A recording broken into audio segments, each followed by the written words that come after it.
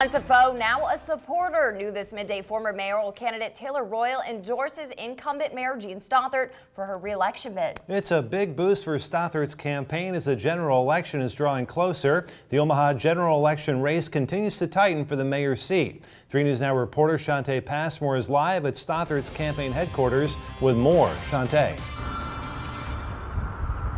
Emily Matt, just days ago, Taylor Royal touted that he was not a career politician, even going as far as to say unlocking new sources of growth, moving Omaha forward would not come from a politician. But just today, he's singing a different tune, throwing his full support behind the mayor. Admittedly, he says they don't always see eye to eye on a number of things, including the restaurant tax and proposed streetcar, but says there is more that unites us than divides us. It's a number game right now, of course. Mello trailed Stothert by three percentage points in the primary, with Royal coming in third with a little over 6,000 votes. So the big question right now is will Royal supporters go for Stothert?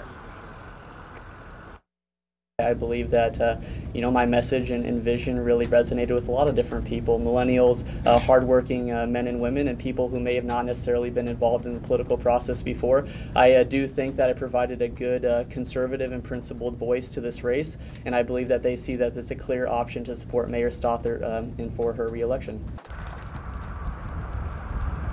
As for Stothert's take on the endorsement, based on her first mayoral run four years ago, she says, You want other candidates to come vote for you once the primary is over, getting on board with your vision. And after endorsement, Mello's campaign manager says, quote, It's ironic that this endorsement comes less than 48 hours after Mayor Stothert hit the gas pedal on the streetcar by committing $30 million of taxpayer dollars to the project. Stothert now says the streetcar project will be in the voters' hands. Reporting live, Shantae Passmore, 3 News Now, midday.